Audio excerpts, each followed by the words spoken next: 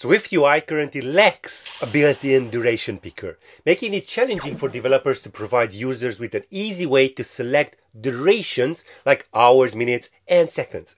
This video will demonstrate how simple it is to add a custom duration picker. By following along, you'll see how to use my seamless user-friendly duration selection component, filling this gap in SwiftUI with just a few lines of code. Duration Picker is part of our summer sale. Get 20 products for 85% off. Go ahead, the link is down in the description. But what is actually Duration Picker? Well, you must probably know in SwiftUI we do have something called a date picker, and uh, we can select the date and we can select also the time, but we don't have anything quite like a duration picker. So let me just show you uh, what we are going to uh, build out today. I'm going to build out uh, the demo project. So let me just stop this example one. This is where we are going to type all of the things out.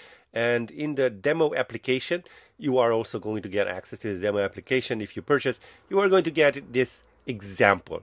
So basically, we are selecting a duration, and it could be a second, minutes, uh, hours, or days. Also, uh, all of this is uh, basically um, uh, whatever you choose to. You can omit the hour, the minute. Also, you can just use the second, minute, second. Uh, you will see how uh, that's easily done inside the code. So uh, let me just show you how it actually works. So you can just select uh, the minute, and as you can see, the text right over here is updated. Also, you can just select some seconds.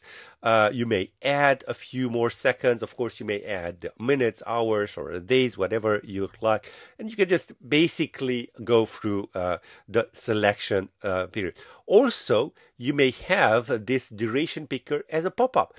So here we have our button right over here, and then we can just select, maybe just add three more hours over there. And as you can see, it just expanded. The selection is basically the label of my button. Uh, so two days, three hours, 36 minutes, and eight seconds. And of course, uh, the adding of these seconds or whatever uh, would you like to add is also uh, uh, uh supported. So uh, that's it.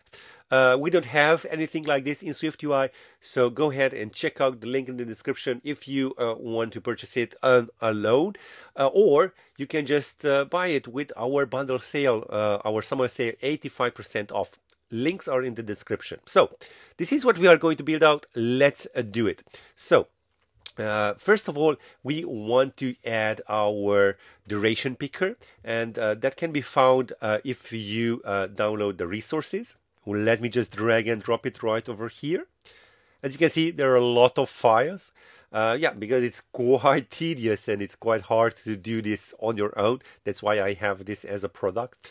And then let's just use it. So as simple as that. So we are going to need uh, somewhere to just store the duration, and that has to be a state variable because we are going to change it and then uh, a max duration. So, what is the maximum amount of uh, duration that this picker is allowed to uh, select? So, uh, let's do that. Uh, by the way, I just added some ex, you know, preliminary stuff right over here. So, we're going to have two types of selections. One is large, the pop-up.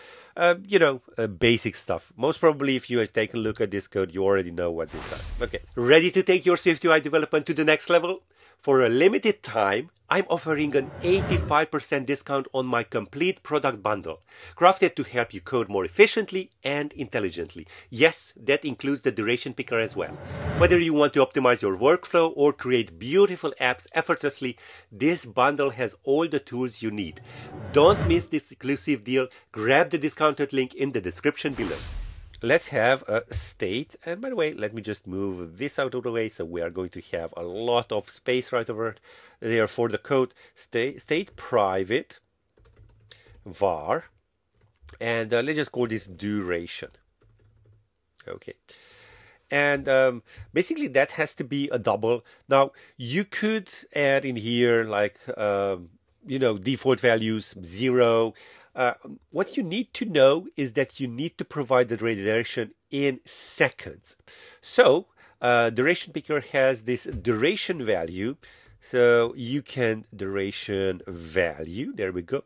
So you can easily create seconds for the value and uh, seconds, sorry, seconds for, seconds for, and then you may choose days, hours, minutes, and seconds.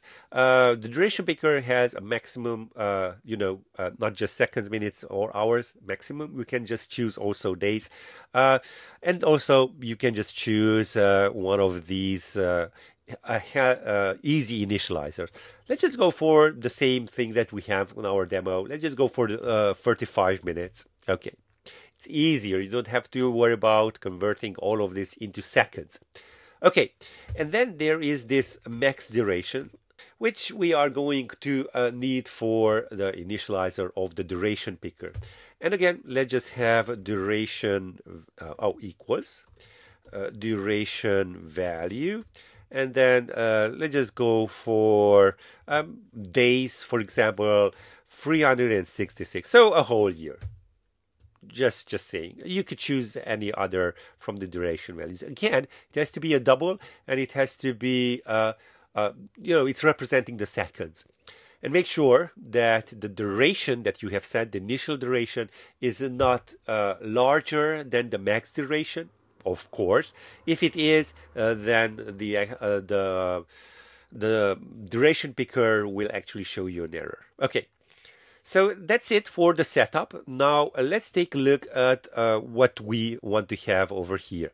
So first of all, we need a button that is going to increment the duration. And then there is this uh, picker, no segmented control, and then the actual duration picker. So let's start off with the easiest one. Let's add that button. So uh, the button, uh, let's have it with a title, uh, add one sec, okay. And then what we are going to do is just have a duration and plus equals 1. Again, the duration is uh, all the amount in seconds. Now you could add in here quite a lot. Now you could add in minutes, days, hours. This is just for the example's sake that you can also uh, increment the duration without using the duration picker.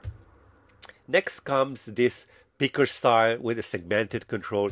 Uh, I'm just going to type this out real quick here. So it's just going to be a picker with the selection. Selection. Selection will be our uh, duration picker selection, which we already set up. That's fine. And uh, for the label, let's just have a text of empty string. We don't care about the label. It's self-explanatory anyway. We are not going to use the label because this will have a picker style of dot segmented. And right over here, I'm just going to go uh, for each and then duration picker selection dot all cases. And then we are going to have a selection right over here. Selection in and let's just have a text of the selection uh, dot raw value. Oh description description right over here because the raw value is going to go for the tag. So dot tag tag where is the tag? There it is. Selection dot raw value and here we go. We have uh, the ID, the raw value 0 and 1, and the description is large or pop-up. Okay, so that's our selection. And then, according to whatever we selected, we want to present the duration picker, either a large one and uh, a smaller, a button one.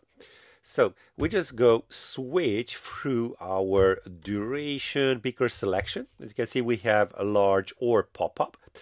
And uh, on the large, uh, well, actually, I'm going to have the duration picker and a text field, well, text where we are going to present the actual value that we have picked. So you know that we can actually use that value. Therefore, we are going to put it into a VStack. So VStack. And uh, let's have the text first. So text, uh, duration, and uh, let's just have this convert seconds to day, hour, minutes, seconds. Again, this is a convenience method provided by Duration Picker. Uh, this is the default one. or you can have also some unit styles. Go ahead and play around with that. I'm just going to stick around uh, with the default one. Okay. Now we need to create the duration picker. Uh, I'm going to set it up as a separate uh, view right over here. Duration, come on, duration picker. This will be the large one. It's going to return some view. And for now, I'm just going to add in here a placeholder text so it's not going to complain. Uh, let's just have duration picker right over there. And on the pop-up, we are going to also use this duration picker, but inside a duration picker button. So duration picker, uh, where is our duration picker button? Let's just type it out. Um, you may choose also a unit style. I'm just going to go with the default one for now. Uh, duration, we're going to bind it. So dot duration. And then the content, well, it's just the duration picker and in this case it will be a pop-up so we want to set up a height otherwise it's just going to go extreme so uh, what we are going to have here a frame of height oh max max width sorry uh, it's not about the height it's about the width again it's uh, you need to uh, uh, control that max width and 300 okay so um, basically what you need to know is that we are going to set up the duration picker. If you want to present it inside a pop-up, you are going to set it up as a content for the duration picker button. And of course, you are going to bind the duration also here. So finally, let's take a look at our duration picker view. So just type out duration picker and then you have some options. And uh, let's just choose uh, the one. Uh, yeah, you may choose also the background color, but for now, I don't care about the background color. Uh, let's just choose duration, total, and items. So the duration is basically uh, relatively simple because we are just going to bind it to the duration state variable. That's what we are listening to basically. Also, we need to pr provide the, the, total. That is the max duration. As you can see, we already set that up. And then we have the items. And this is where the actual magic happens. Uh, this is an actual array. So uh, let me just have it just like that. So, what do you want to be seen on your duration picker? Do you want to have seconds and minutes, or just maybe seconds, or maybe only minutes? Now, I'm going to go all the way in, but please feel free to experiment. It's so versatile, so uh, uh, really, really, you could have a really complex one. So, let's just go for the days. So as you can see days, we are going to have a label for the days. Now that label is basically what you can see. Let me just go to the simulator right over here. Now this is a duration picker uh, label. Where do you want to see it? This one is on top. You can just see it on the bottom. Let's see what other options do we have. So if we have right over here, we have bottom, no label, or top. Now, on the no label, we are going to have a style and the divider. The style is uh, basically just having compact or large, but I would like to show you what we have if we choose either top or bottom. Let's just go with top because that's uh, what we have on the example. So on the top, we are going to have a title. Basically, that's the string. Let's just call it day. Sorry, not top, but the day. And then, do we are, are we going to have a divider? Let me just show you what we uh, should have right over here. So maybe right over here on the minutes and seconds, you should have the colon. On the day, maybe a, a, a minus. Uh, I'm not going to go with a minus. I'm going to show you a colon right over here. It's not in the example, but uh, if you add an empty string, you're going to see it just like this. Okay, so that is for the day.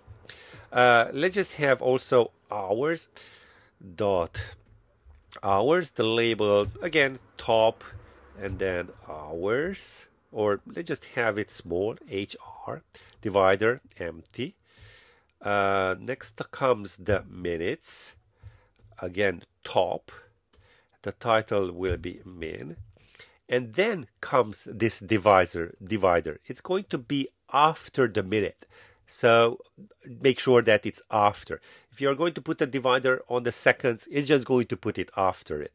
So uh, that's why I'm putting the colon right over here and then go seconds again dot top and then just go sec, divider, empty one. So that's it. It's as simple as that. Let's build and run. Uh, let me just choose another device right over here. Uh, let's just go for this one. I believe that's the already a running simulator. So we should see days, hours, minutes, and seconds. Basically, kind of the same setup what we already have over here. Uh, let's just see uh, this yeah we are already here. So the previous one is the demo. That's why we can see the d here. This is the example. So it looks exactly the same of course. But let's just see how it works. So two hours 35 minutes maybe some seconds. Let's just go all the way up. So what happens if we uh, go all the way up? 59 the minutes 59. So yeah, it's as simple as that. We may add a few seconds and as you can see, it's automatically updating, which is really nice. And it's animating on the pop-up uh, side. Yeah, let's just do that. Let's just go again all the way up to 59 minutes. Yeah, there we go. It's as simple as that. Really, uh, really nice.